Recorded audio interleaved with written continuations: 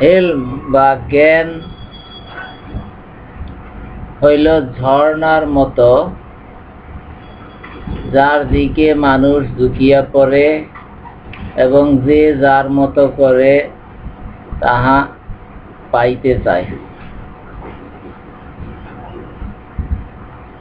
অনেক লোককে আল্লাহ তাহা থেকে উপকৃত করেন। আর যে জ্ঞানের কথা আলোচনা হয় না, তাহা প্রাণহীন দেহের মতো।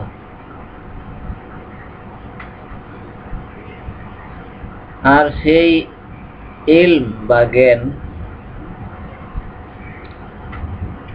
যাহা প্রকাশ করা হয় না, তাহার উপমা সেই ধনভাণ্ডারের মতো যাহা থেকে খরচ করা হয় না।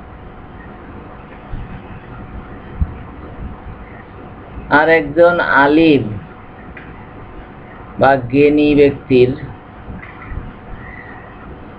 উপমা হইতেছে অন্ধকার পথে আলো বহনকারীর মতো। যেই ব্যক্তি সেই পথ দিয়া যায়, সেই আলো পায়। আর প্রত্যেকেই তাহার জন্য কল্যাণের দোয়া করে।